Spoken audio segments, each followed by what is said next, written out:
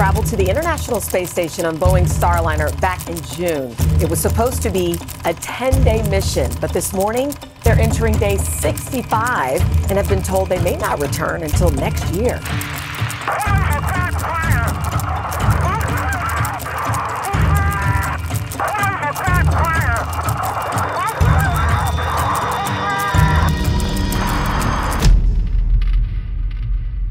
Mysterious area of space pulling entire galaxies toward itself, astronauts' DNA altering after prolonged periods in space, and questions about the nature of our existence itself. These are unsettling discoveries in deep space that challenge reality. About 150 to 250 million light years from our galaxy is a strange, unsettling cosmic anomaly known as the Great Attractor. It's a region of space with such a powerful gravitational pull that it can draw entire galaxies toward itself, causing them to collide and merge. What makes the Great Attractor even more mysterious is that scientists can't fully explain its mass. There's not enough visible matter around it to account for the gravitational force that it exerts, so research researchers really have no idea what lies at the center of it. The Great Attractor is found in the so-called zone of avoidance, a part of the universe that's obscured from our view. So studying this region isn't really an easy task. Now, I know what you're probably wondering. Will our galaxy be destroyed by this unknown Lovecraftian horror at some point? Well, fortunately, the answer seems to be no. While the Milky Way is being pulled toward the Great Attractor, dark energy is simultaneously pushing galaxies apart throughout the universe. So even though we're drawn in, we're unlikely to ever collide with the Great Attractor itself.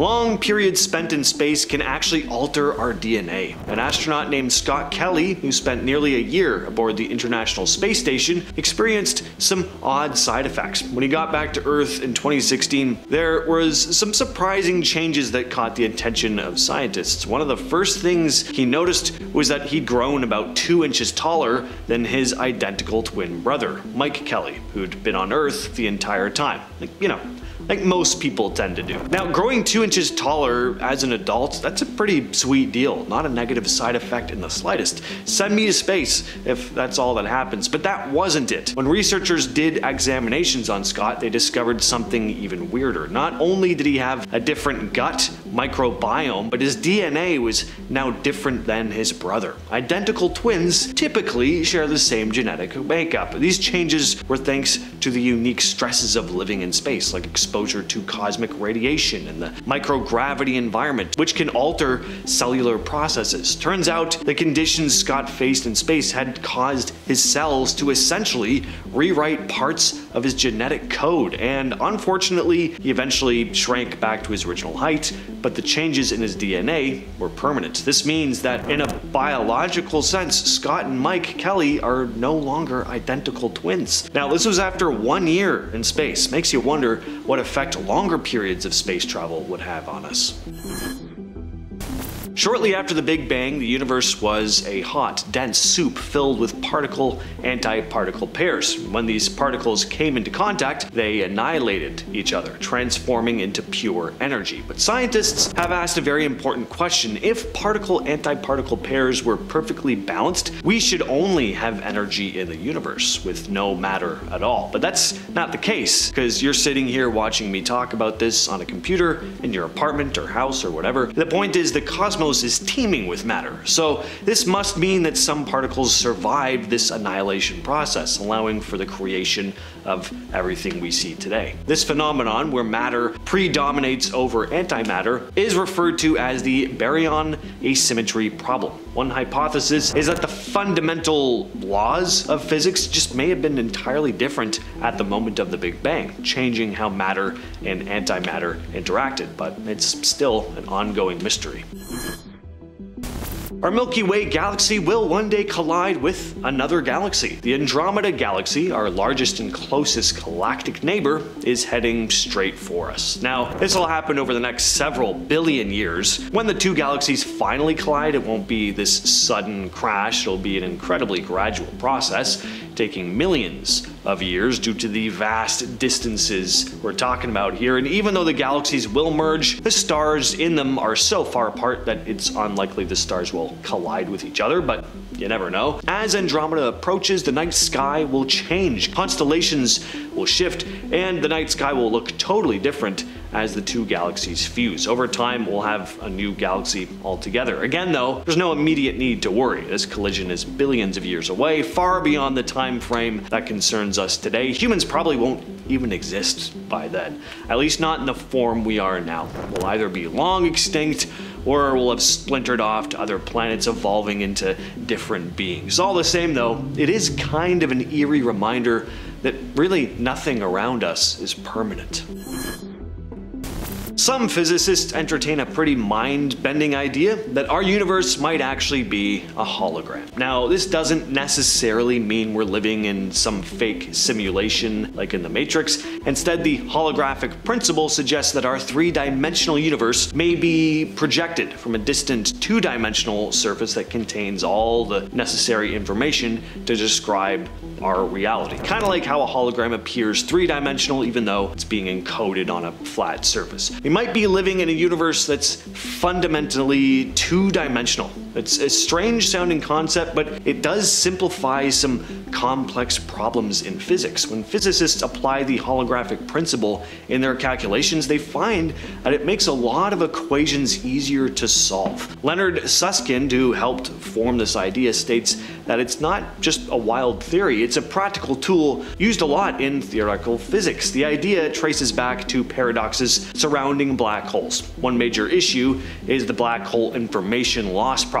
Stephen Hawking discovered that black holes emit radiation and eventually evaporate, which raises the question if a black hole disappears, what happens to the information of anything that fell into it? Well, some scientists think that the information isn't lost and instead leaves a two dimensional imprint on the black hole's event horizon. The fine tuning problem states that even the slightest changes to the fundamental laws and constants of our universe could cause it to be completely inhospitable to life as we know it. For example, if gravity or the strong nuclear force were adjusted by even a fraction, the result might be a universe without stars, planets, and life as we know it. Everything around us is just so perfectly set up for matter to exist. It seems fine-tuned. So was it specifically designed for life? Well, some scientists think there may be multiple universes and that our universe is just one of countless others, each with its own set of laws and constants. It could be that we just happen to be lucky enough to exist in the universe where conditions are just right for life to flourish, while other universes may be filled with completely different matter or no matter at all. And speaking of multiverses, let's talk about string theory, which proposes that instead of viewing particles as these tiny dots, think of them as incredibly small, vibrating strings. The theory goes that there are these extra dimensions, so tiny and curled up that we can't perceive them in our daily lives. Mathematicians refer to these curled up dimensions as Calabi-Yau manifolds, complex shapes that help describe the hidden aspects of our universe. These extra dimensions can have different configurations, sort of like different radio stations, each broadcasting a unique signal. Each configuration could represent a different set of physical laws and constants, the rules that govern how things operate in a particular universe.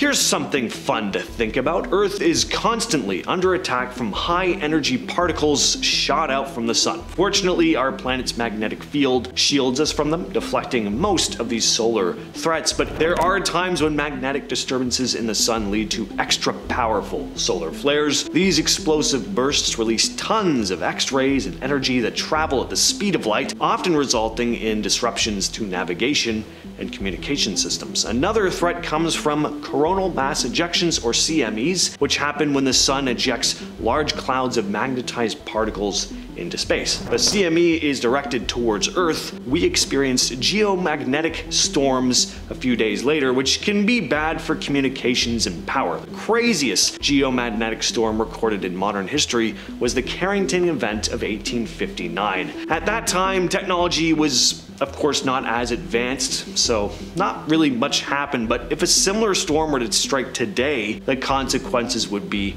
much more noticeable. The internet could go down. We could have months without it. Sounds kind of nice, actually, but just think of how much we rely on the internet in our daily lives. It would be a pretty big adjustment. The likelihood of a storm of this size happening again is about 1 to 6 to 12% each decade. Not a likely chance, but by no means minuscule either.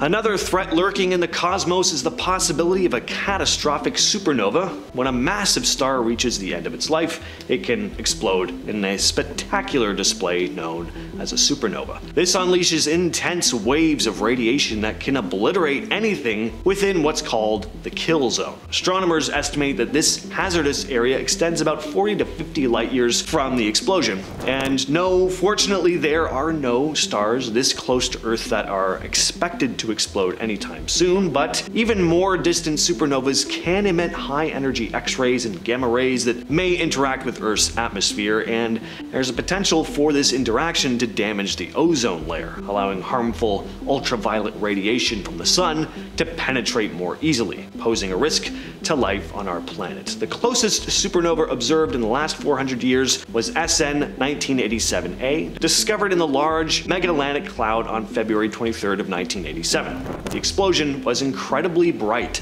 shining with the energy of around 100 million stars for several months.